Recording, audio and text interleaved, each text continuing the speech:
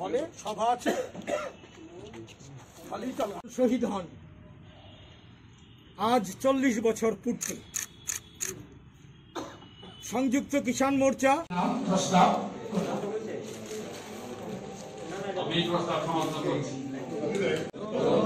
শহীদদের রক্ত। কমরেড এখন অমর শহীদদের কিছুক্ষণ নীরবে আমরা স্মরণ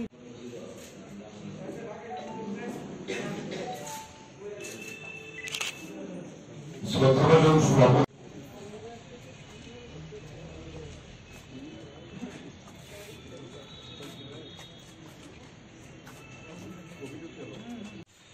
এই সংক্ষিপ্ত সভা এখানে বিস্তৃত বলার অপেক্ষা করে না। উনিশশো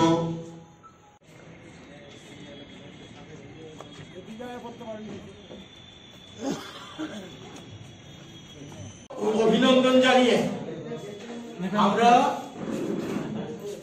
সমস্ত করুণা বিধি মেনে কংগ্রেস মঞ্চে আসন গ্রহণ করার জন্য অনুরোধ করছি।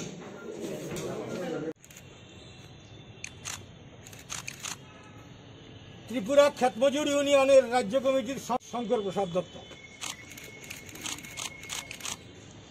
উপজাতি গণমুক্তি পরিষদের উনিশে জানুয়ারি ভারতবর্ষে প্রথম সর্বভারতীয় ধর্মঘট।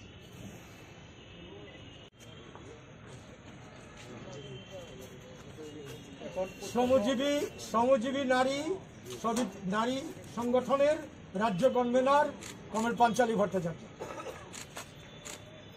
এখন অর্পণ করবেন কৃষক সভার রাজ্য কমিটির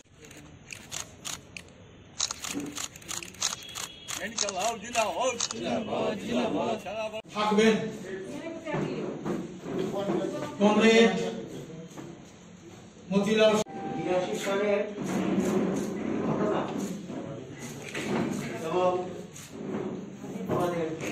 উনিশশো বিরাশি সালে আজকের দিনেই কেন্দ্রীয় ট্রেড ইউনিয়নগুলো সারা দেশে শ্রমিকদের অধিকারের জন্য ধর্মঘট ডেকেছিল।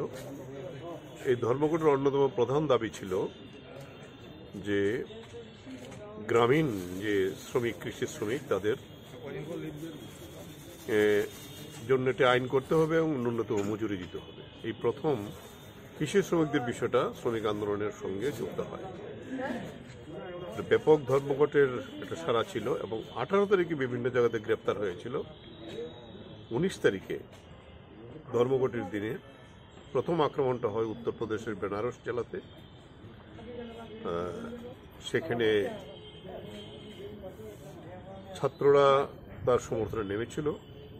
দুইজন, একজন যুব নেতা এবং একজন ছাত্র নেতাকে দুই ভাই তারা পুলিশ খুন করে।